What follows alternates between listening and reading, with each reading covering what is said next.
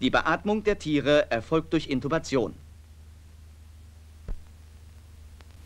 Die Operation am Spenderhund verlief also demnach wie folgt. Nach Eröffnung des Thorax wurde die rechte Lunge abgesetzt.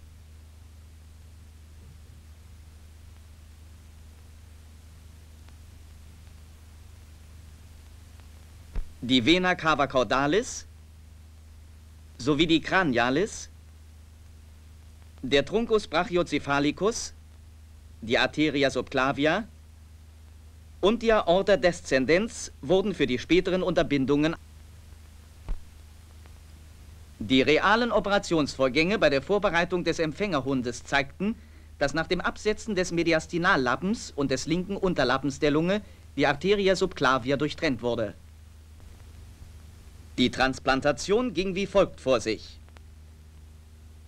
Das Transplantat wurde abgesetzt und auf den Empfängerhund übertragen.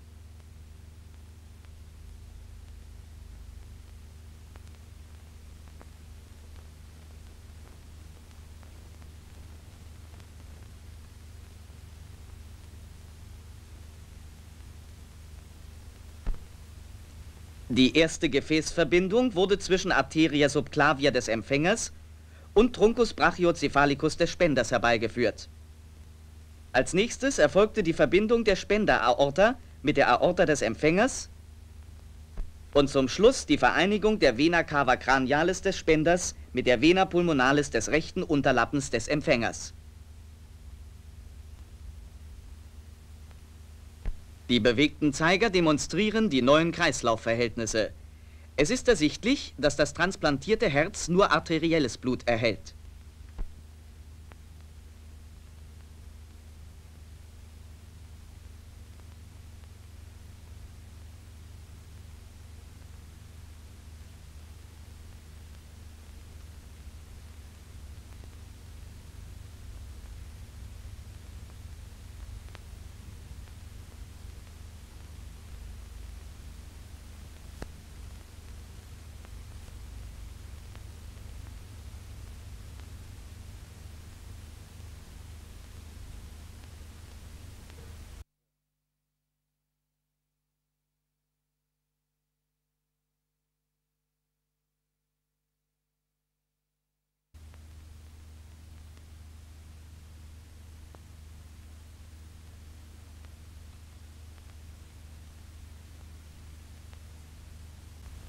Am Atlas-EKG ist die elektrische Aktivität beider Herzen ebenfalls zu unterscheiden.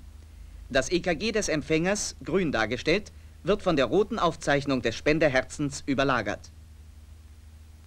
Da das transplantierte Herz brustwandnahe liegt, ist es auch möglich, seine Aktionen direkt zu beobachten.